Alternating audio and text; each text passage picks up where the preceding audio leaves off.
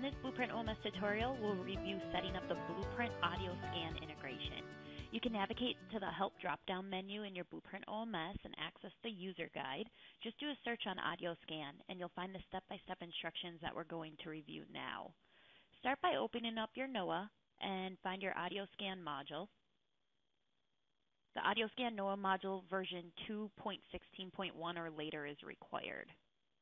You can navigate to customer.audioscan.com if you need assistance upgrading your Audioscan module.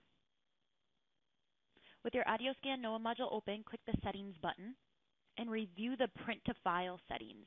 You can change this default directory if you would like, but in the next step, you're going to point your Blueprint OMS to this file path.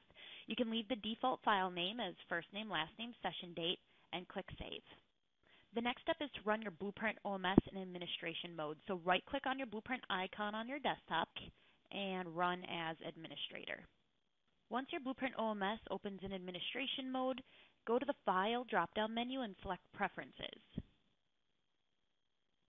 Under the Audioscan Report location, click your navigation button and find that file path and click Open.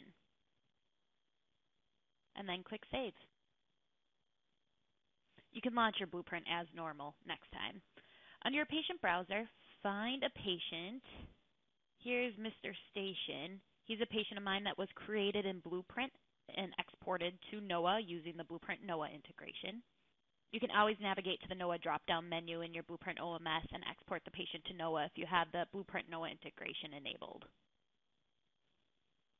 Assessment results from NOAH automatically flow back into Blueprint and generate in that patient's file, and now your audio scan reports can do the same thing. Here are my reports for Mr. Station. I'm going to select a report and print. I'll save the PDF from NOAH. Click Save in that defined file path.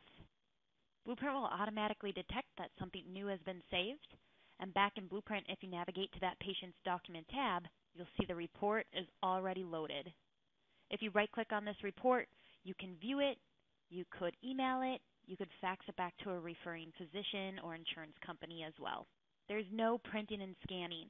Ultimately, this allows you to save a lot of time and go completely paperless. If you have any questions or would like assistance setting up the Blueprint Audio Scan Report integration, please give us.